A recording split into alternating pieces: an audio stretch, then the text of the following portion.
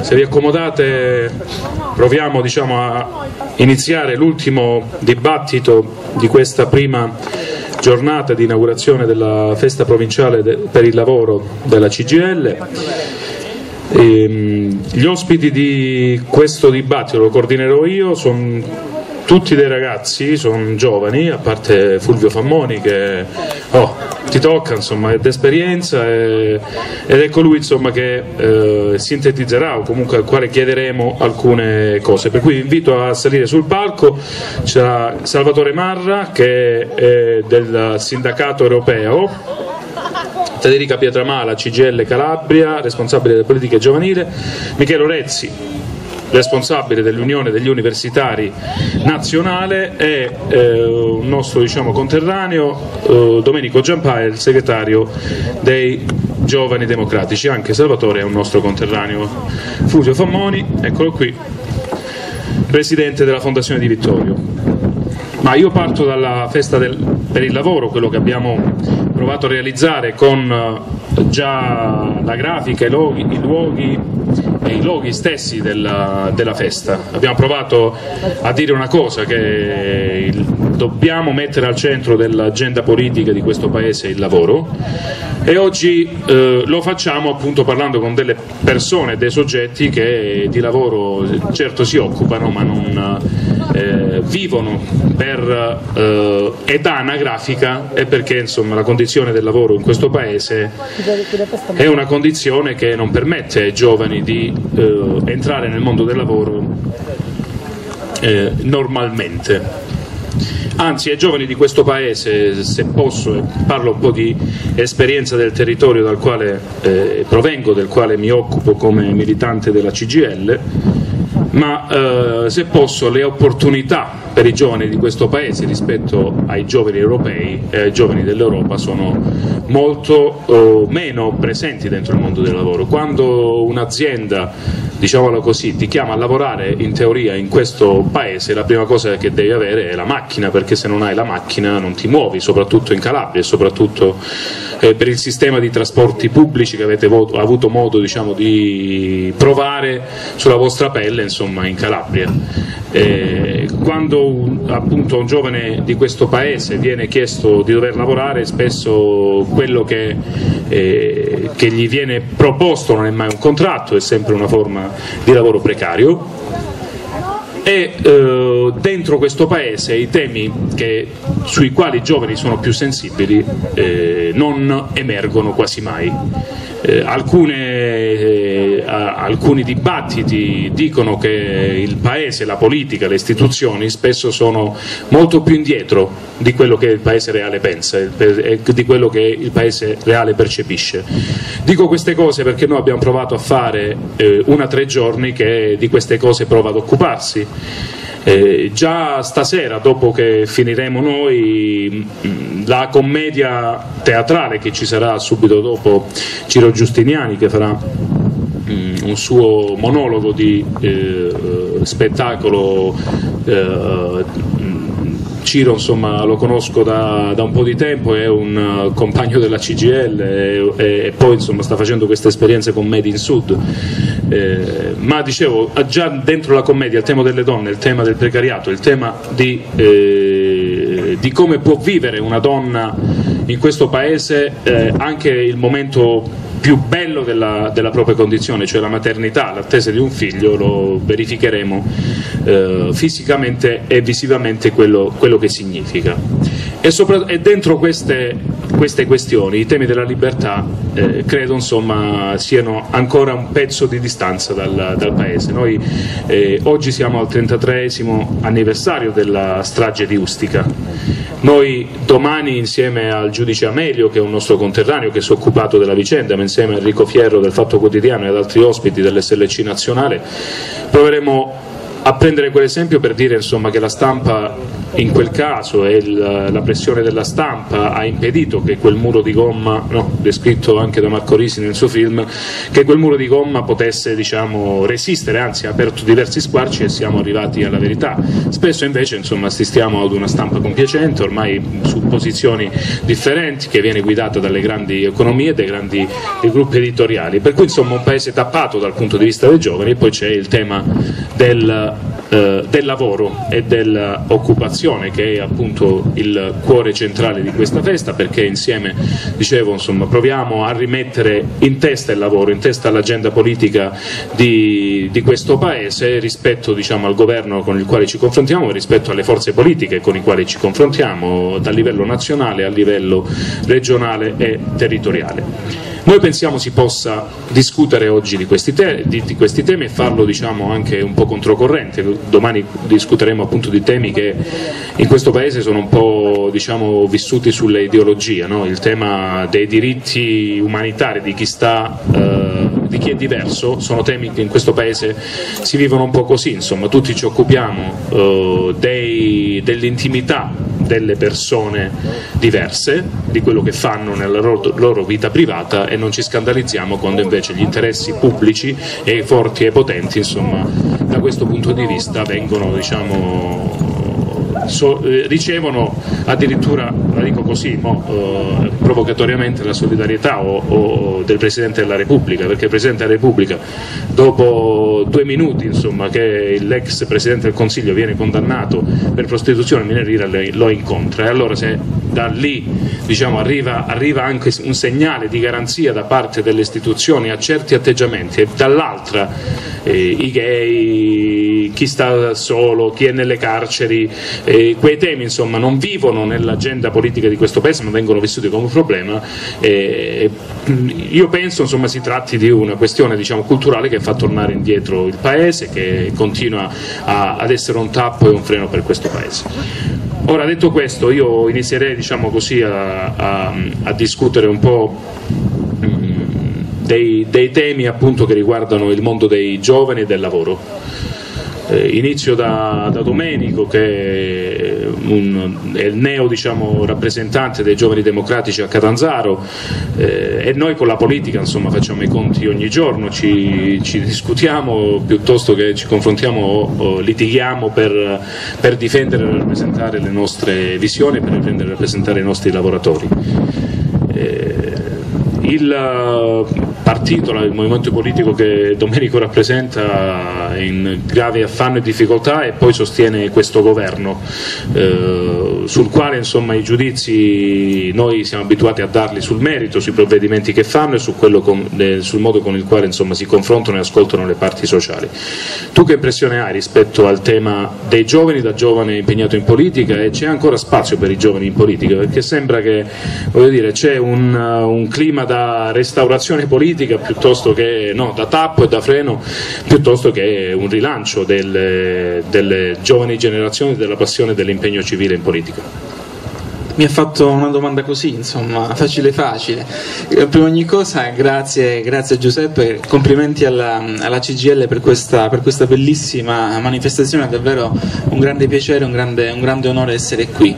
Ma fare politica per un giovane, io dico sempre che non solo non è facile, ma a volte diventa anche una, una nota di demerito, quasi, quasi, quasi uno svantaggio perché eh, soprattutto la nostra terra è qualcosa di, di, molto, di molto, arduo, di molto, di molto, difficile, dove ti scontri con, con eh, personalità eh, che poco hanno a che fare con, con la passione politica, però eh, io penso che chi decide di investire il proprio futuro qui, chi ha studiato qui e chi cerca a lavorare qui, eh, la cosa minima cosa che possa fare è quella di provare ad impegnarsi sul territorio a cambiare, a cambiare le cose. Sul governo Letta io ti rispondo facilmente, questo governo penso non piaccia, non piaccia a nessuno, eh, infatti la crisi, la crisi, dei partiti che, anche, che sta investendo anche i sindacati, che è la crisi della rappresentanza poi,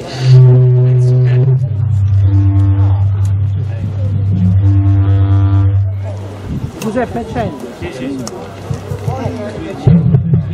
se parli male dei sindacati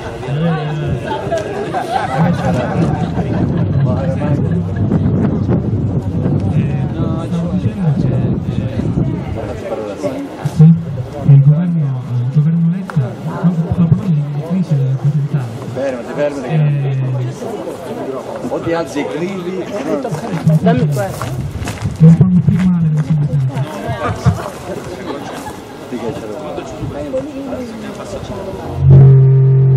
Siete in service. Alza lì il canale. Parla.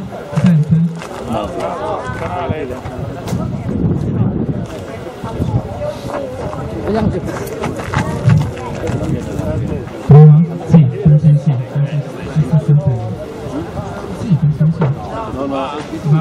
Mm-hmm.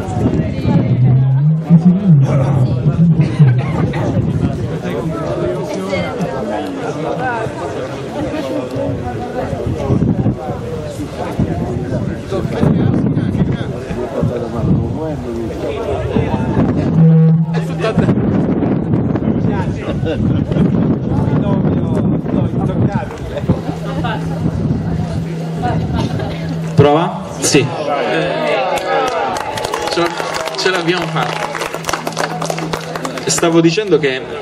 la crisi, la crisi che ha investito in, ehm, la, la rappresentanza, la rappresentanza in generale è qualcosa di molto, di molto complesso e fenomeni come, come il grillismo, come il risultato delle ultime politiche spesso è anche stato un nostro limite, un nostro, un nostro, un nostro svantaggio. Quindi eh, dicevo, la, ehm, il fatto che il governo Letta non piace a nessuno, ma eh, che eh, ehm, alla fine questo governo si doveva fare. È qualcosa di molto complesso e che giusto venga, venga affrontato in maniera molto intelligente come lo si fa questa sera affrontando quelle che sono le parti sociali. Io penso che se noi avessi, se avessero discusso nelle sedi opportune come lo facciamo noi stasera con più frequenza tante cose avremmo potuto, avremmo potuto, potuto evitarle. Rispetto al governo Letta aspettiamo i provvedimenti nel merito ma gli auspici non sono, non sono dei migliori anche perché ne parlavamo prima. Rispetto ed è inevitabile parlarne. Questo decreto sui giovani sul mezzogiorno e sul lavoro. Noi aspettiamo il provvedimento nel merito eh, quando verrà poi nella sua, eh, nella, sua, diciamo, nella sua versione definitiva. Ma diciamo che gli auspici non sono dei migliori. Quei famosi eh, eh, posti di lavoro che sono stati promessi dal, dal- dal governo Letta. Io temo siano molto di meno per due ragioni.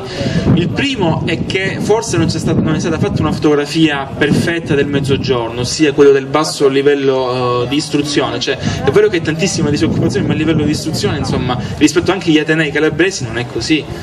E anche perché mh,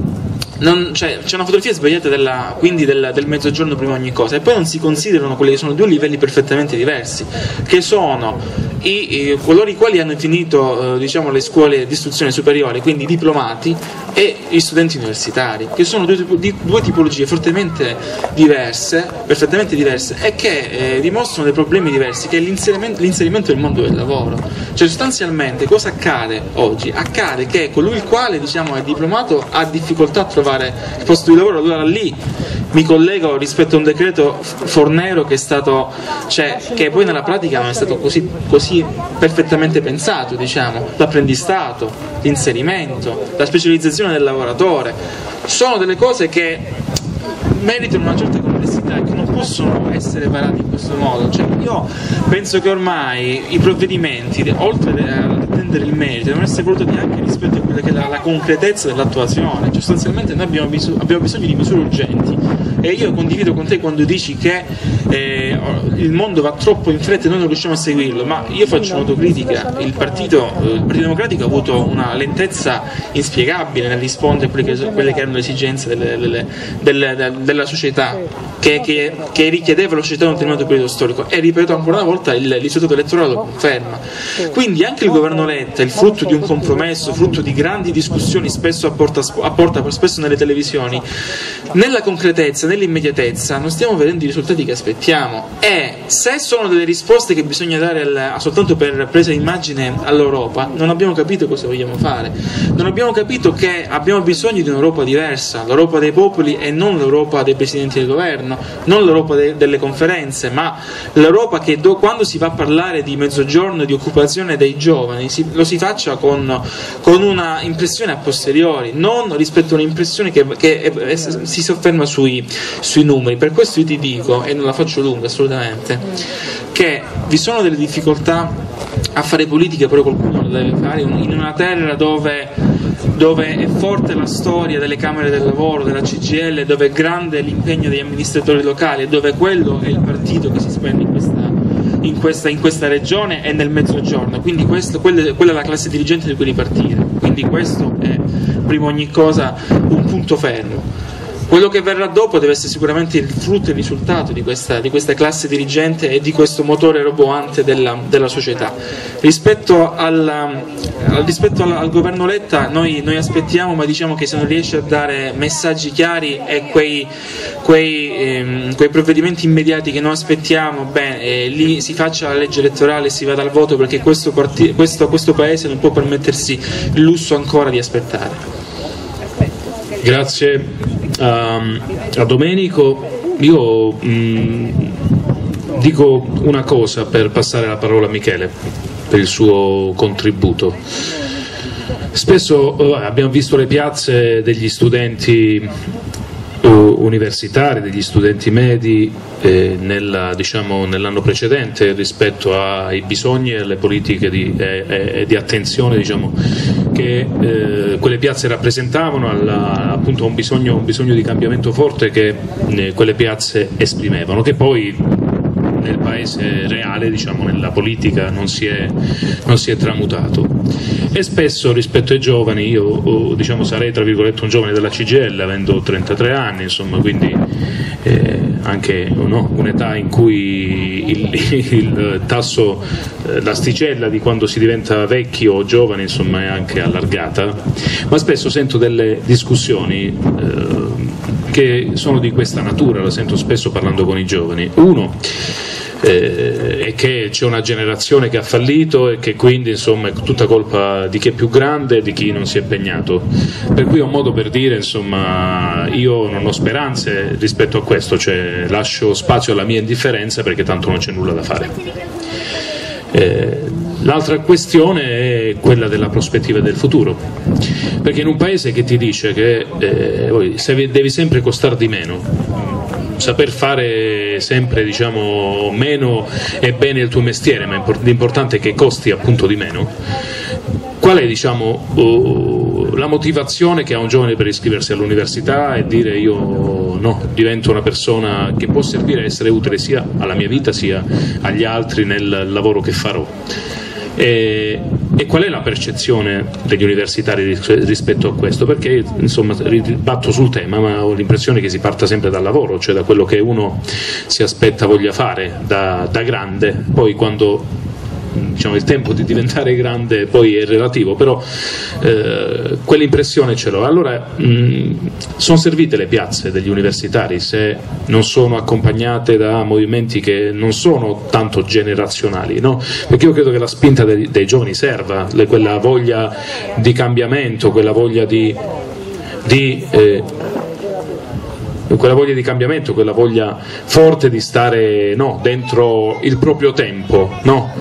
eh, serva, ma eh, quando è che arriva l'adesso? No? Non la dico per Renzi, eh, no,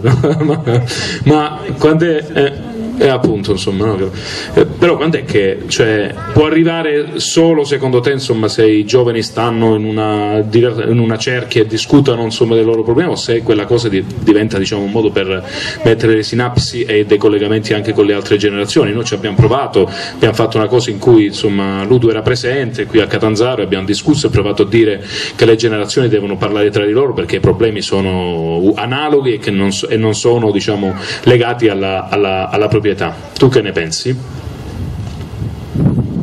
Buonasera a tutti, eh, ringrazio ovviamente per l'invito. Eh, Giuseppe è stato una delle prime persone che ci ha dato una mano a cercare di ricostruire negli ultimi mesi il progetto del sindacato studentesco eh, nella vostra regione e sono contento di, di, ritornarci dopo un mese delle elezioni del Consiglio nazionale dei studenti dove eh, Ludo ha fatto prima lista eh, in regione, quindi sono,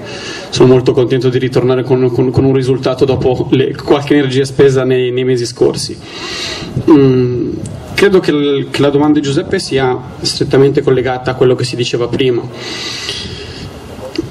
Credo che, mm, che, quelle piazze siano servite, assolutamente sì. Mm, il movimento studentesco del 2008 e del 2010, con differenze grosse di consapevolezza e di sostanza, ehm, siano servite. Siano servite perché mm, rispetto al governo Berlusconi che c'era in campo, e a quella situazione politica mm, gli studenti sono stati l'unico oppositore sociale insieme alla CGL eh, in campo veramente e credo che abbiano segnato insieme al sindacato eh, manifestazioni assolutamente importanti eh, di cui, i cui temi eh, sono dibattito ancora perlomeno eh, in questo tipo di manifestazioni. Penso alla manifestazione indetta d'articolo 31 insieme ai sindacati su, sulla, a difesa della Costituzione, penso al movimento Se non ora quando. Sono mh, mm, temi che hanno portato alla ribalta, cioè sono, sono state manifestazioni di piazza con una grandissima influenza a parte di, di, delle due opposizioni sociali di quel periodo, eh, una grandissima partecipazione di queste opposizioni sociali per portare alla ribalta temi che quel governo schiacciava, soprattutto da un punto di vista valoriale. Io credo che quindi quelle, eh, quelle, quelle piazze siano servite a questo e a creare una consapevolezza e, e, delle attese nella nostra generazione, sia per quello che riguarda gli studenti medi sia per quello che riguarda gli studenti universitari. Dove si interrompe il legame con la politica? Quando determinati tipi di esigenze e richieste mh, mm, cadono nel vuoto. Prima si parlava di crisi della rappresentanza, mm, io credo che ci sia una grossa differenza tra eh, mm, la rappresentanza che deve fare un partito politico e deve, quello che deve fare un sindacato Mm, entrambi sono osmotiche con la, con la società sicuramente, però eh,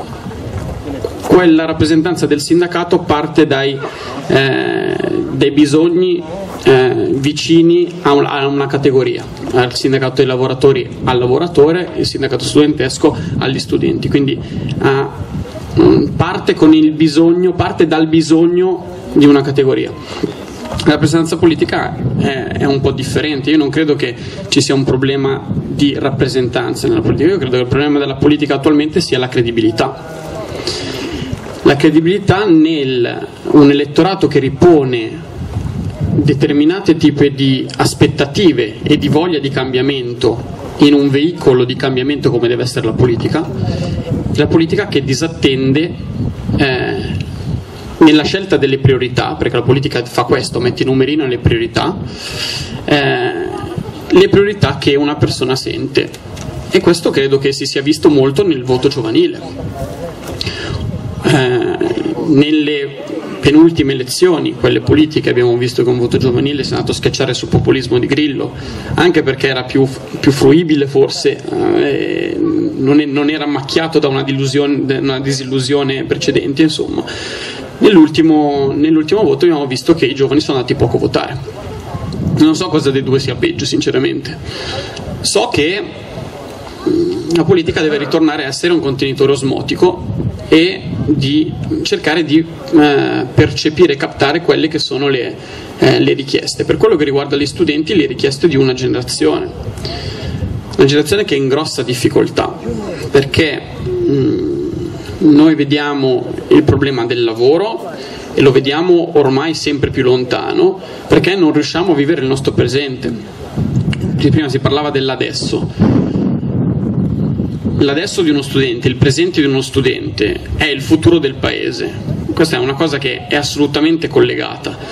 Eh, cosa succede? Arriva la crisi nel 2008 e più o meno, noi avevamo il governo Berlusconi, più o meno tutti i governi europei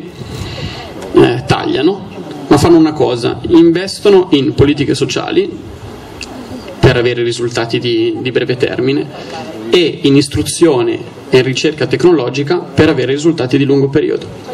Il governo Berlusconi in Italia fa esattamente eh, l'opposto, cioè taglia nel sociale, taglia per quello che riguarda istruzione, istruzione ricerca e investimento tecnologico. È normale che eh, oltre alla mazzata nel breve, nel breve periodo quel paese che decide di, di, non investire più nei giovani, quindi non credere più nel proprio futuro, non solo prende la mazzata a breve termine, ma farà fatica a rimettersi in piedi e rialzarsi poi. Noi siamo già adesso il paese europeo con meno laureati, meno di Spagna, meno della Grecia. E nonostante questo sono sei anni che continuano a diminuire le immatricolazioni all'università. Perché sta passando lo strano concetto, che è tutto, che è tutto ideologico, eh, per cui bisogna far studiare gli studenti solo se poi hanno una collocazione direttamente nel mercato del lavoro. Bene, l'università e la formazione in genere non sono nati solo per essere un, un, colloca- un, veramente un, ponte di collegamento nel mondo del lavoro in una situazione bloccata del mondo del lavoro, ma investire sulla formazione dei giovani, sulla loro istruzione, serve per creare posti di lavoro, per far progredire il paese da un punto di vista tecnologico e per creare nuovi posti di lavoro questo dovrebbe servire innanzitutto formare una generazione. Poi c'è tutto l'aspetto più eh, a difesa della democrazia, cioè che una persona più istruita mh, ha più consapevolezza di sé, è un migliore cittadino e dovrebbe difendere al meglio eh, que- quello che è il nostro paese. Ma, mh, ma non, non, sono completamente scollegati a questa cosa dall'operazione tutta ideologica che si sta portando avanti. Benissimo, la nostra generazione è una generazione bloccata cioè ha un futuro che non riesce a intravedere e rischia di essere la prima generazione, non tanto la mia, quella che sta venendo dopo, completamente disillusa verso il futuro. E questa cosa è una cosa completamente pericolosa, cioè veramente in modo devastante può essere pericolosa per il paese perché se i giovani non riescono a immaginarsi un paese migliore nel quale vivono, il paese rischia di rimanere completamente bloccato. Se la politica non riesce ad aprire a questa voglia di, di cambiamento e a delle parole d'ordine di priorità che dovrebbero essere quelle per far rialzare il paese, il paese sembra veramente bloccato. Quindi ogni volta che, che ho visto in questi anni una piazza piena degli studenti vedevo che comunque c'era una voglia di cercare di rimettersi in piedi, di cercare di andarsi a riprendere un po' non solo del proprio futuro ma del proprio presente. Lo sto dicendo in una regione che è una delle più penalizzate in assoluto per quello che riguarda la copertura delle borse di studio. L'Italia è l'unico paese OXE che ha il fenomeno degli idonei non beneficiari. Noi abbiamo provato a, a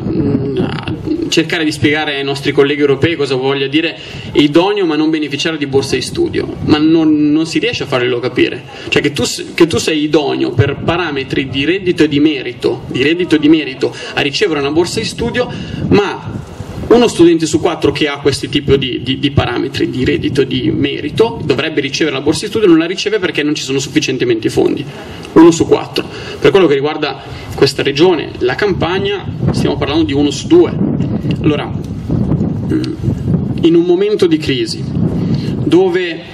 si sta facendo pagare alle famiglie e alle famiglie degli studenti naturalmente in maniera terrificante il peso della crisi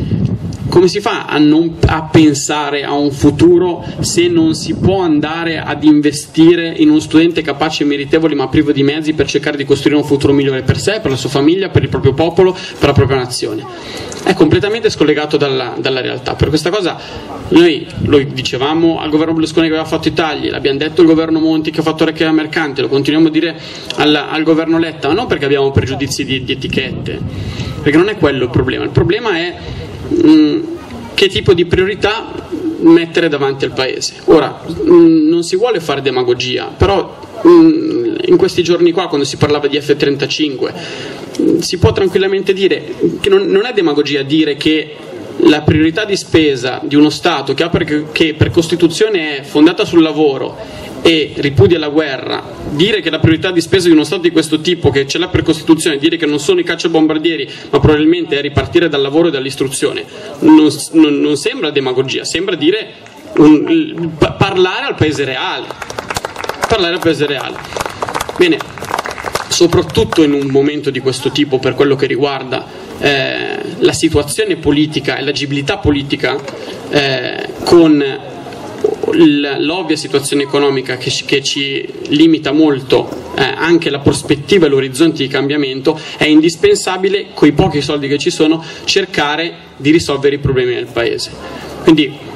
ogni volta che uno studente scende in piazza, che eh, un, un, lavoratore sciopera, cerca di mh, mm, ricerca, da, partendo dalla propria situazione, una situazione migliore per tutti. Bene, Mm, speriamo che ci siano nuove stagioni per ascoltare quelli che sono i problemi reali del Paese, partendo anche da categorie deboli come sono gli studenti come sono i lavoratori che non sono altro che i genitori degli studenti, tanto per intenderci, se non per quello che riguarda gli studenti universitari, ormai uno studente universitario su due, dall'anno prossimo ci sarà il sorpasso tra gli studenti lavoratori e gli studenti a tempo pieno, un'altra cosa che dà un dato di quella che è la crisi di quanto morde la crisi. Attenzione, eh, con il calo delle immatricolazioni e l'abbandono, eh, questi studenti, cioè quelli, quelli che, sono, che, che, continuano a lavorare e a studiare, sono um, persone che rimangono all'università, poi ci sono quelli che escono dall'università, che sono un dramma e un dramma precedente ancora è l'abbandono scolastico prima, prima dei 16 anni. Siamo anche da quel punto di vista uno studente su quattro abbandona la scuola prima dei 16 anni senza rientrare più in nessun percorso formativo. Un dramma clamoroso, cioè, da qui nascono i, i, i net, eh, che sono i giovani che non, non, studiano, non lavorano e ormai hanno perso anche eh, la speranza di cercare un lavoro, che è un, un dramma assolutamente tutto italiano. Ecco, probabilmente qua c'è un filo conduttore generale eh, che è un paese che mh, vuole dalla politica eh, delle priorità più vicine a quelle che sono le priorità di ciascuno di noi e credo che da lì si debba ripartire per cercare di, mh, di ricostruire questo ponte indispensabile per la salvaguardia della democrazia tra l'elettorato e tra chi ci rappresenta un punto di vista eh, partitico. Per quello che riguarda la rappresentanza sociale invece dei sindacati, io credo che il sindacato, sia quello degli studenti sia quello del, dei lavoratori, ha benissimo eh, il polso della situazione per quelli che sono i problemi veri del, del nostro Paese. Grazie a Michele, io passo dall'altra parte perché c'è Federica che dicevo è la responsabile politiche giovanili della CGL, c'è tutta la campagna giovani non più disposte a tutto che in questo momento la CGL Calabria sta eh, coordinando. Mo, Michele ci rappresentava quanto è importante eh, l'università, il mondo dell'università per la, il progresso sociale di questo Paese. Un giovane universitario uh, di questo paese, poi in Calabria è ancora più complicata e quindi vorremmo che tu ce la descrivessi in qualche modo, diciamo che vive questa condizione, da universitario uh, investe sul proprio futuro anche economicamente, arriva nel mondo del lavoro e uh, si trova diciamo, in una, una, contropartita che è quella spesso dei tirocini, quando va bene, insomma, o di un lavoro precario, che quell'investimento non glielo renderanno mai, manco in termini economici. E quanto è complicato eh, arrivare diciamo, al mondo giovanile in Calabria per la CGL e dentro queste partite? Allora,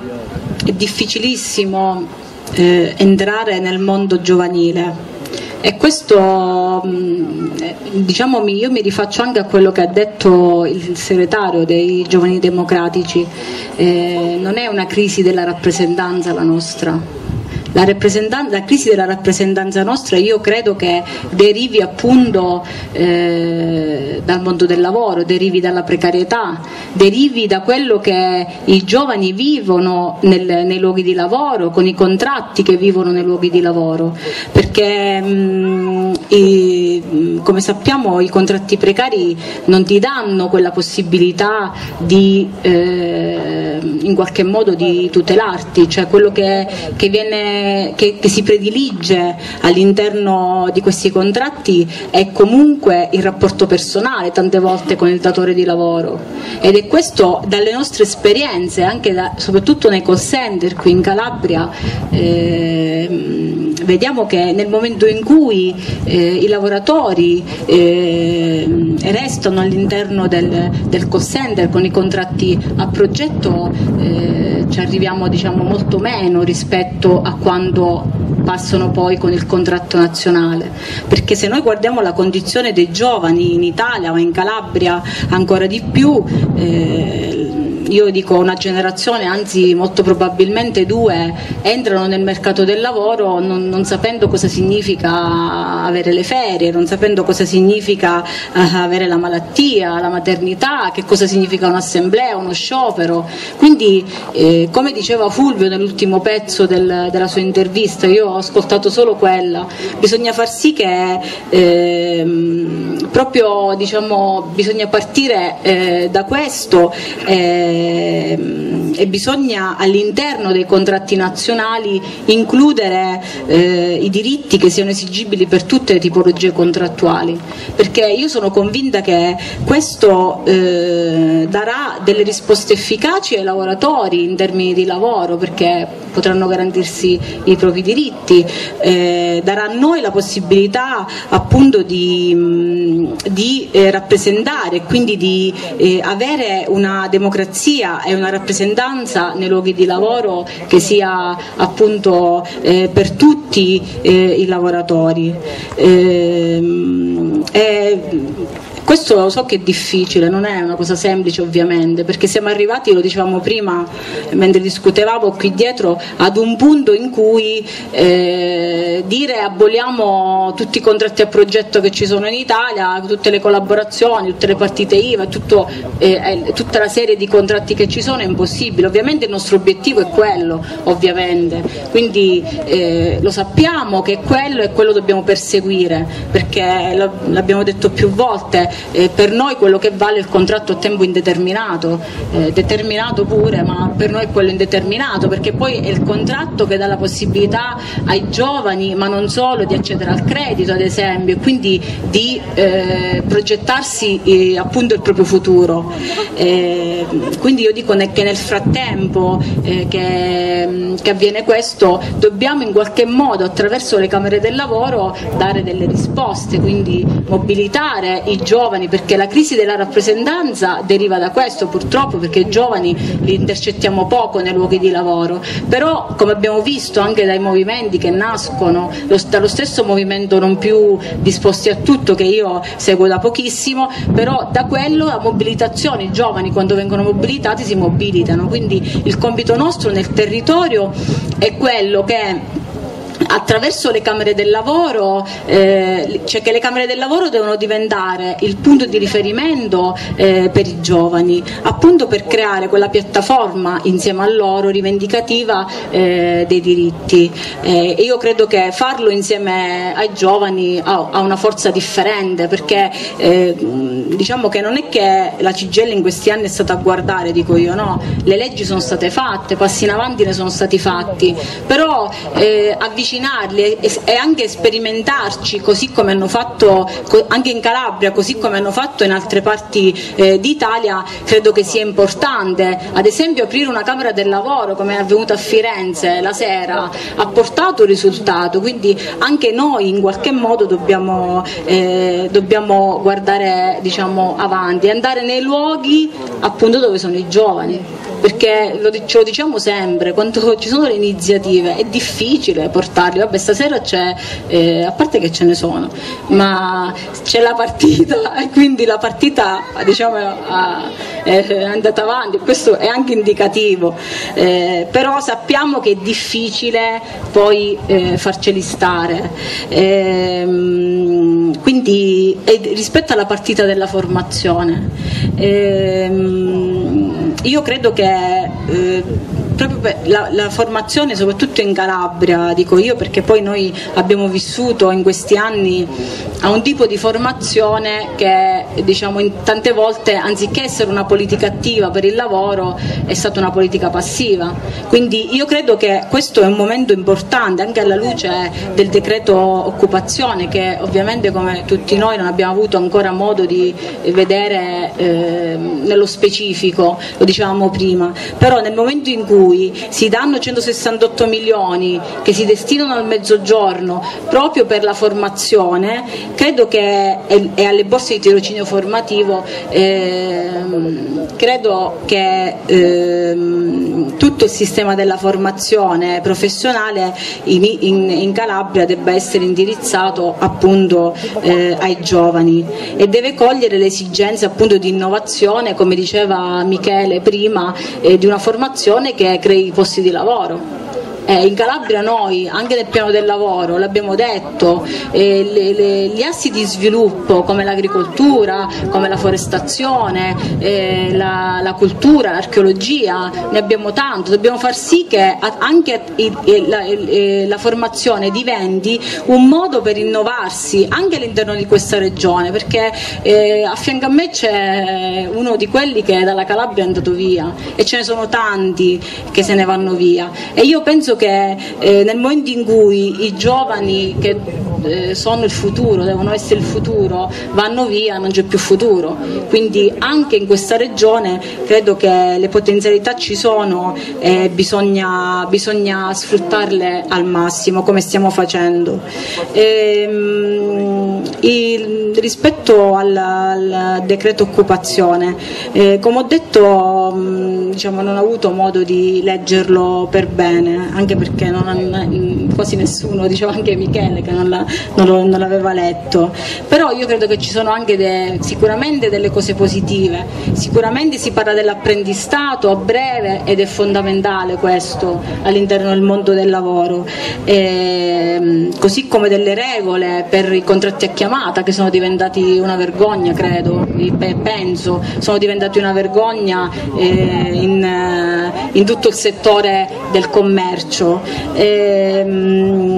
e, e credo che però eh, ancora deve essere fatto tanto, deve essere fatto tanto perché eh, io credo che se non si fa una riforma del mercato del lavoro reale, se non si cominci diciamo veramente con un'inversione di tendenza a capire che se non si ridistribuisce il reddito dalla crisi non si esce. Quindi la riforma del fisco è fondamentale, cioè prendere i soldi da chi ne ha di più per redistribuirli da chi paga di più, credo che sia fondamentale, non si uscirà dalla crisi, se no più andiamo avanti, più sarà un cane che si morde la coda. Di, prendiamo da un pezzo e lo, lo sistemiamo da, da, una parte, lo pigliamo dall'altro, lo sistemiamo dall'altra, a pagare poi sono sempre i soliti, i lavoratori, i dipendenti, i giovani, i pensionati. Quindi io credo che ehm, eh, questo sia diciamo, il punto anche di partenza. Sono contenta di questa iniziativa perché è importante che eh, anche noi diciamo, eh, in Calabria eh, iniziamo a, a, vederci per capire come impostare diciamo, tutte le politiche eh, giovanili all'interno di questa regione eh, per far sì che come appunto Salvatore non ce ne siano altri. Grazie. A volte si parte anche per realizzarsi, per uh, conoscere diciamo, esperienze, per, sì, ma il bello sarebbe diciamo, tornare al, a- al proprio paese con formati di, di esperienze diverse. Invece c'è l'idea che penso insomma, che l'Europa sia, non sia un corpo appunto dei popoli, no? ma che abbia delle differenziazioni sia normative, no? ne dico una per stemperare un po' il dramma, no? parliamo di legalizzazione delle droghe domani, se io vado ad Amsterdam in un coffee shop e fumo una canna, insomma, arrivo alla frontiera e sono già eh, un delinquente, insomma, arrivo in Italia e sono già eh, un delinquente perché non si può fare. E questo dal punto giovanile, insomma, dal punto di vista giovanile ho delle opportunità, diciamo che l'Europa ti dà ad essere cittadino europeo, l'ho buttata così, insomma, per eh, dire un tema leggero. E, e- e nel lavoro è la stessa identica cosa, nel senso che le- i popoli d'Europa stanno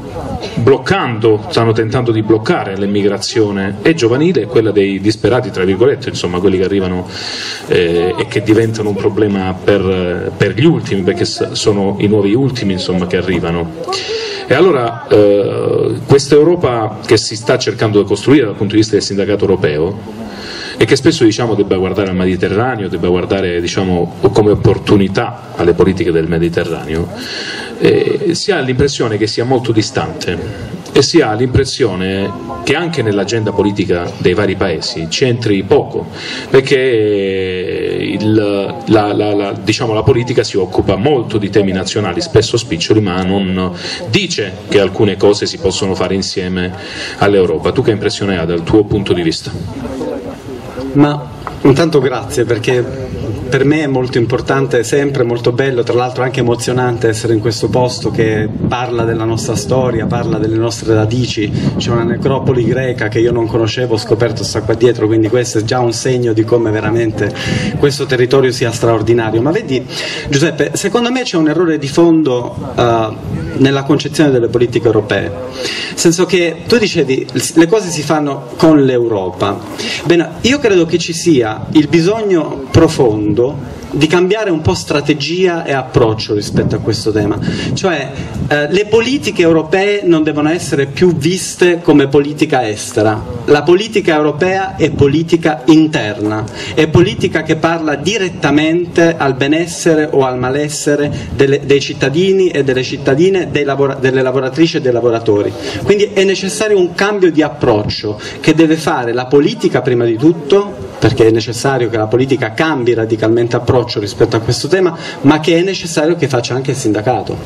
Perché a me ha colpito molto, per esempio, l'approccio del sindacato tedesco rispetto a una ristrutturazione delle politiche europee rispetto alla crescita. La proposta del sindacato europeo non è una proposta che parla della Germania e poi prende l'Europa come contesto nel quale calare quella proposta, no, è esattamente il contrario, fa una proposta che è europea e che guarda poi alla Germania. Il discorso è molto semplice, parte da un assunto fondamentale, noi siamo paesi che non hanno materie prime in quanto a energia. Allora queste materie prime noi le dobbiamo necessariamente importare da fuori. Questo è un tema che guarda alla Germania o che guarda all'Europa nel suo complesso? Ecco, io credo che questo sia il, nece- il necessario cambiamento di approccio rispetto alla proposta della politica. Ora non posso dilungarmi su questo tema perché ho promesso di essere europeo anche nei tempi e quindi voglio- vi voglio dare semplicemente due o tre spunti rispetto al mio lavoro che faccio all'interno della Confederazione Europea dei Sindacati, di cui ho l'onere e onore di coordinare il gruppo dell'area latina all'interno della segreteria. Ehm, ci sono due temi che sono molto grossi e molto sentiti dal Portogallo alla Romania come dalla Norvegia a Malta e sono in particolare rispetto alla questione giovanile. Un tema che è quello della partecipazione e un tema che è quello della solidarietà. La partecipazione alla vita politica e per quanto ci riguarda, lo diceva il segretario dei Giovani Democratici, alla vita sindacale delle persone più giovani all'interno del mondo del lavoro e dei posti di lavoro è a mio avviso l'elemento scatenante. Tutti ricordiamo che le Camere del Lavoro nella loro iniziale formazione, quando furono fondate le prime Camere del Lavoro, erano Camere del Lavoro che parlavano al territorio e parlavano alle persone, ai braccianti, ai disoccupati in particolare, le leghe dei disoccupati, perché nascevano in un contesto contesto politico e sociale molto particolare che aveva il bisogno di includere quelle persone farle partecipare alla vita della attiva e passiva della, della, de, del mondo del lavoro. E io riconosco in tutta Europa, anche nei paesi che, che stanno meglio, un problema legato alla qualità e alla possibilità di partecipazione che si scontra fondamentalmente col problema dell'inattività ovvero della impossibilità di partecipare democraticamente alla crescita e allo sviluppo di un paese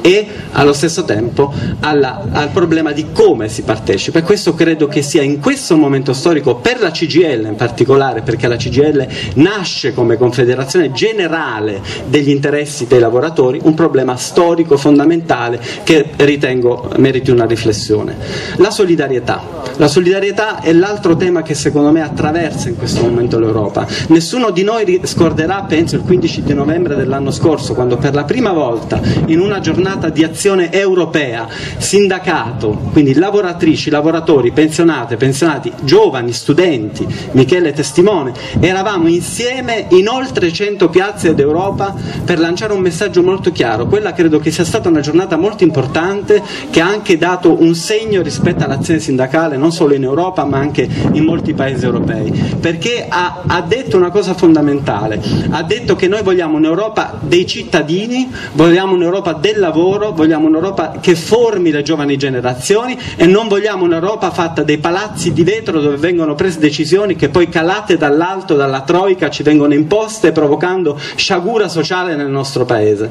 È una manifestazione che ha detto, senza fare demagogia, una cosa molto semplice, che se è giusto salvare le banche dando loro centinaia di miliardi perché hanno speculato e speso in derivati derivati tossici, allora è altrettanto giusto e solidare spendere e investire socialmente nel benessere delle persone che stanno in questo momento peggio. Gli investimenti vanno presi dove stanno e vanno spostati sul benessere delle persone. Erano messaggi chiarissimi. La politica ha fatto molta fatica,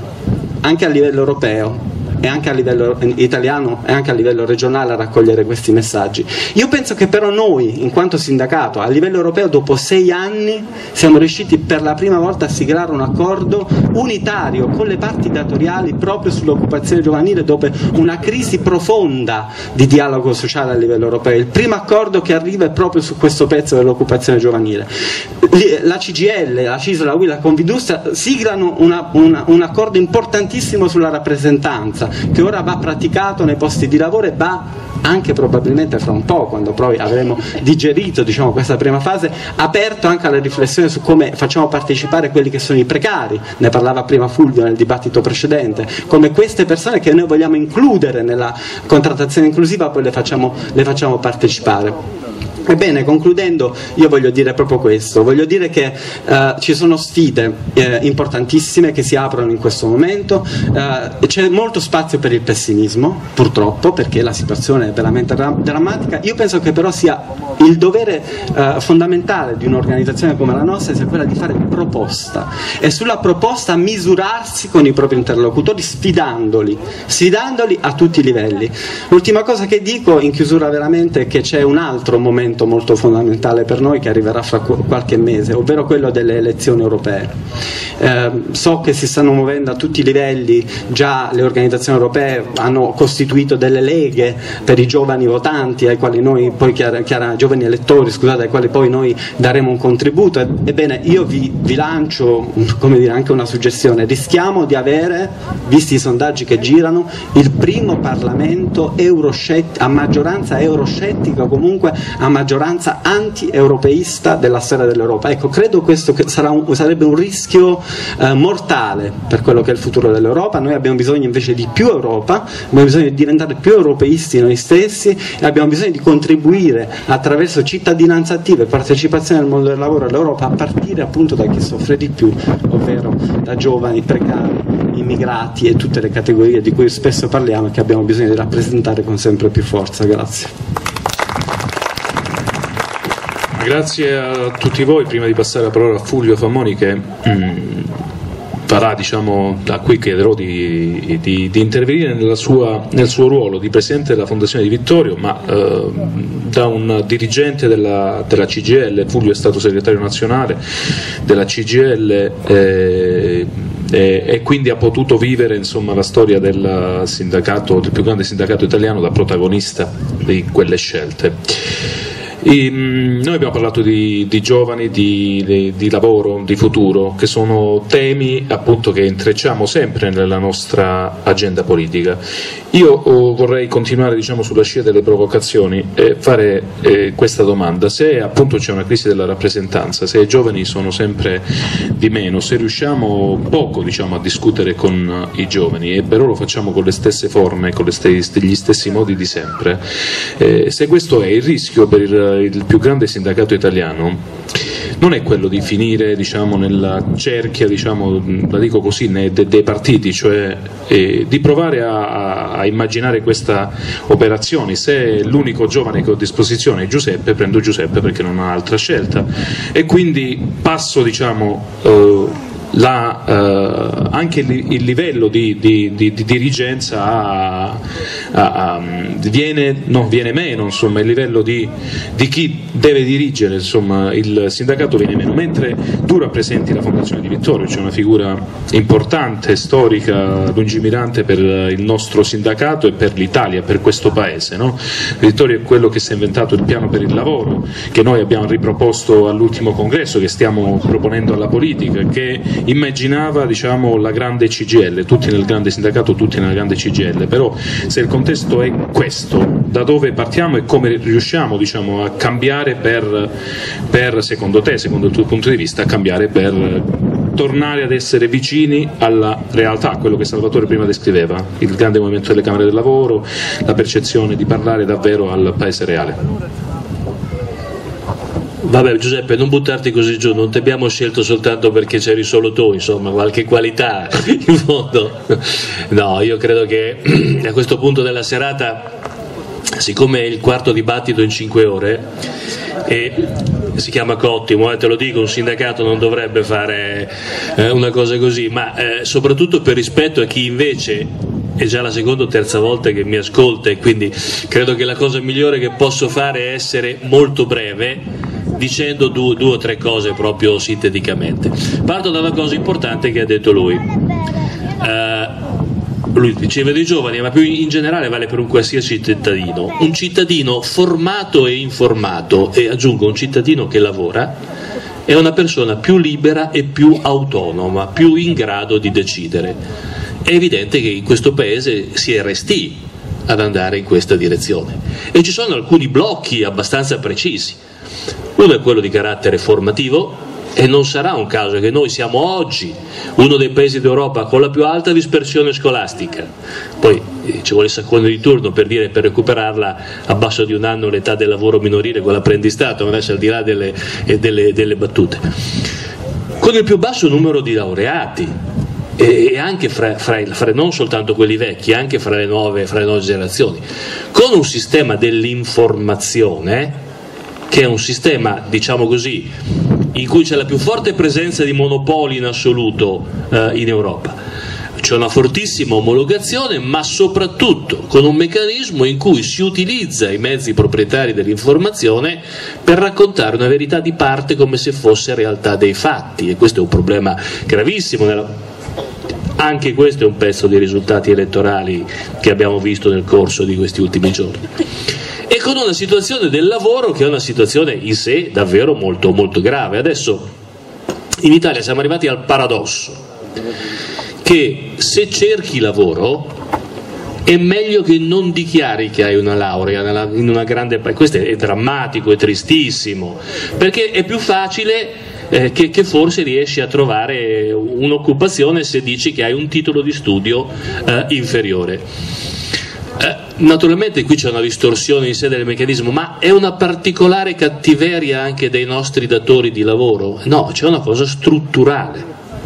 Per cui c'è questo blocco, per cui si, si pre- cioè, ogni tanto si dice i giovani italiani non sono preparati ad entrare nel mondo, nel mondo del lavoro. Sarà ma l'anno scorso ne sono emigrati 140.000 e hanno trovato tutti da lavorare in altri paesi europei, quindi forse non è la, la, la, la preparazione dei singoli il problema principale, il problema è che noi abbiamo un modello produttivo che è basato su una competizione al ribasso di costo, di scarsissima qualità di prodotto, che in quanto tale non è in grado di assorbire e ha paura di assorbire energie qualificate al proprio, al proprio interno se tu, anche questo l'ho già detto, mi scuso con chi l'ha già sentito, ma se tu hai 2 milioni di aziende per 14 milioni di lavoratori che producono per il mercato comunale o al massimo regionale, che qualità... E, e allora su che cosa si compete? Si compete sul costo. E il costo alla fine qual è quello più facile da aggredire? È il costo del lavoro, il costo della persona. Per cui meno costi, naturalmente, da questo punto di vista meglio è. Ora, noi abbiamo questo coacervo di questioni, se vogliamo ridare un futuro e dire che questo è un paese che dà una prospettiva anche per i giovani. Poi con questa storia dei giovani in tanti si sciacquano la bocca eh, in maniera veramente adesso. Ma voi ve lo ricordate il, il governo Monti e la ministra Fornero lo facciamo per i giovani? Qualcuno me lo a spiegare cosa hanno fatto per i giovani? Perché diciamo la stessa riforma delle pensioni è una riforma che massacra soprattutto i giovani in prospettiva del loro, del loro futuro, ma la propaganda ha fatto passare un messaggio che aveva esattamente questo tipo, questo tipo di caratteristica. Allora, bisogna fare delle cose a livello di governo, se questa è la situazione, vedete, eh, ho detto prima battuta, non do un giudizio negativo sull'ultimo intervento del governo sulla questione del lavoro dei giovani perché mi aspettavo di peggio per il tipo di discussione, tipo di discussione che c'era, ma in questa ottica io capisco, siccome abbiamo una disoccupazione di lunga durata anche fra i giovani, che ormai supera i due anni, io capisco che si dice chi è disoccupato da più di sei mesi, non, non faccio fatica a capire questa questione, che ci sia un problema di rapporto con i cari ma questa questione di chi è sotto il diploma di scuola media superiore non la capisco. Non solo perché si tratterà di occupazione bassa quello che abbiamo fatto, ma soprattutto perché sarà occupazione che prima o poi ci sarà una ripresa, rischia perché nel futuro non ci potrà essere la stessa produzione, le stesse imprese e quello che ci sarà, tu, tu, tu, tu vieni da, da, da, dall'iniziativa europea, cosa dice il CEDEFOP? Dice che nel futuro l'occupazione sarà nei livelli medio-alti, noi abbiamo un abbassamento in tutte le qualifiche medio-basse, sono tutte persone che rischiano di perdere una doppia beffa nel, nel, nel, nel prossimo futuro. E allora non ci se la può cavare così, non se la può cavare l'Europa con questa miseria che ha messo sul piatto chiamando l'intervento per i giovani. Anche se lo concentra in due anni, sti 6 miliardi spalmati sull'Europa sono veramente una cosa banale. Allora, sul prossimo bilancio europeo che si discute purtroppo non si decide, perché saremo tutti europei, ma Cameron mette il diritto di veto e i tedeschi finché non si vota in Germania non si può decidere niente, e che qui c'è qualcosa di malato che va, che va cambiato in questo, in, questo, in questo meccanismo. Ma allora perlomeno il prossimo bilancio europeo lo vogliamo dal punto di vista della qualità trattare in modo diverso. Non sarà che questi soldi li spalmiamo come se niente fosse sui soldi di sette anni? Siccome tutti parlano di effetto shock, vogliamo restringere la questione, vogliamo qualificare la questione nel prossimo biennio per dare una svolta che ha queste caratteristiche, che è la terza questione di intervento. E poi c'è un problema che non bisogna nascondersi che riguarda anche, anche, anche il sindacato. Naturalmente è molto più difficile fare iniziative che hanno queste caratteristiche in una fase di crisi che in una fase, in una fase di crescita è tutto più facile. In una fase di crisi in cui la torta si restringe, si restringe per tutti, parlare di ridistribuzione distribuzione anche dentro il mondo del lavoro è assolutamente più difficile, ma anche qui c'è un nodo da affrontare. Tu hai ragione quando dici ci vorrà del tempo per superare questa mole, se, se, se, se riusciamo a cambiare alcune condizioni, eh, questa mole di lavoro precario che si è venuta, si è venuta ad affermare. Adesso siamo arrivati al punto che noi abbiamo il 15% di lavoro autonomo più del resto d'Europa ci sarà falso lavoro dipendente nascosto dentro questo meccanismo, ci vorrà del tempo per smaltire questo percorso, però qualche concetto lo dovrai affermare. Allora, che cosa vogliamo dire quando parliamo di inclusività dentro i contratti nazionali di lavoro? Perché prima o poi bisognerà, e, e avremo una discussione anche con i nostri rappresentanti nel, nel futuro se vogliamo fare questa questione. Dobbiamo ribadire un concetto che è questo a parità di lavoro, stesso salario, indipendentemente dal tipo di forma di lavoro con cui tu sei assunto. Ecco, forse se cominciamo tutti a cercare di fare un ragionamento a più sfaccettature perché da un unico punto di vista non ci si arriva, non la si prende la questione, faremo una cosa che non risolve i problemi ma che dà una roba che di cui adesso c'è, tanta, c'è tanto bisogno. Perché le inquietudini che la crisi provoca, l'incertezza sul futuro, genera paura e genera reazioni eh, che la paura, diciamo, sconsiderate che la paura propone anche nelle reazioni più delle persone. C'è bisogno di fiducia e di speranza. Ora, un sindacato non può non farlo, non è il suo dovere di istituto dire ce la possiamo fare, ma oltre a dire che ce la possiamo fare, forse dobbiamo fare qualche cosa di più per far capire che si può cominciare eh, a svoltare. Grazie davvero.